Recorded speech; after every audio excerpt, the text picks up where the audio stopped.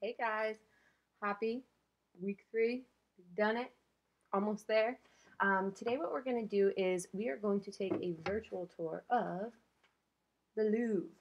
Um, so, you guys have heard me talk about this museum before. We've kind of discussed some museums we wanted to visit, uh, but some interesting facts before we actually take the tour. Um, so, the Louvre is actually the oldest and largest art museum in the entire world, which is really cool. It actually started out as a fortress um, to protect Paris, complete with a moat and underground tunnel. So there's a lot of really cool history that surrounds it.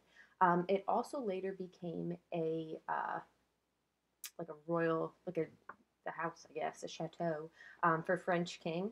Um, but he later moved his um, his uh, house chateau to uh, Versailles. So it then became a public museum for art. So the most famous painting, the Mona Lisa, is held there. Um, and it's a it's really a space that's dedicated to art and cultural education.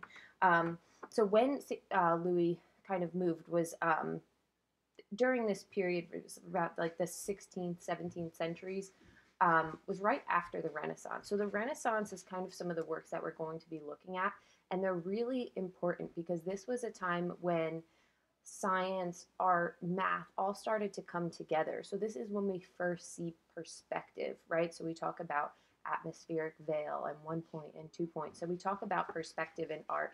So uh, this is really when all it was like the steam of the you know 1300s.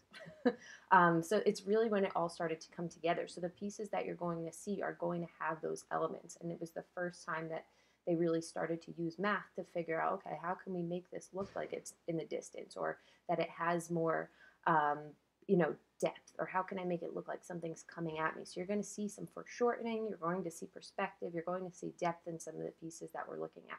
So we're going to go to um, Le Petit Gallery. I probably butched that, botched that, but um, the little gallery. So it's four small rooms, um, and it's going to showcase various artworks. Um, I'm just looking at the name of the. Uh, it's called the Advent of the Artist, which just opened up in September. So unfortunately, the museum's closed, but we get to take uh, kind of a look at what the this year's edition will be. So it's going to have um, works from the Renaissance. So from Da Vinci, Donatello, Michelangelo.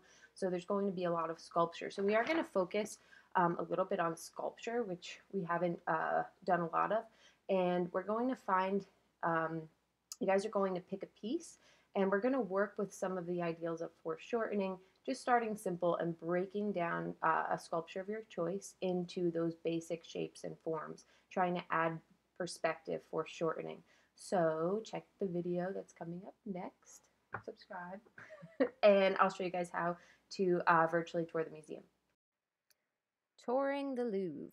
So I did post a link, which was going to take you to online tours. There's a lot of uh, pretty neat links in here. Remains of the Louvre's moat, um, Egyptian antiques, but we're going to be going to launch the tour for the Advent of the Artist. Um, so this is a small four rooms, okay? And you can see that it's definitely a little bit more clear than some of the other um, apps that we used. So we can kind of see the entrance hall, right? There's a different gallery but we're going to be sticking for right now, unless you guys find something in another gallery like uh, with sculpture. Um, and we're going to come up through here. So you can see how it brings us up. You can actually rotate, turn around. Can look at the different pieces. And it's definitely uh, a higher definition, higher resolution. You can also click here, Menu 360, which will take you to some of the different pieces that are featured. Um, or you can come up here. Right, so you can see some of the different signature pieces. So if I was to, I'm going to turn this way. You can see that there's different rooms. You can click on an arrow to bring you to certain places. And I like this piece here. Um, so if I hover over while it is in French, you can actually you can still see who the um, the artist is, which you guys are going to want to note the name, right? So it's Venus, and it's done in marble, the size. So all of those things we used in description, um, and also the year. So 1826. So I'm going to hit this. So I can use this image if I would like for my drawing. And all we're going to do is breaking it down into simple shapes. Or if you would like, you can kind of find your own angle and screenshot from that portion. So I can zoom in.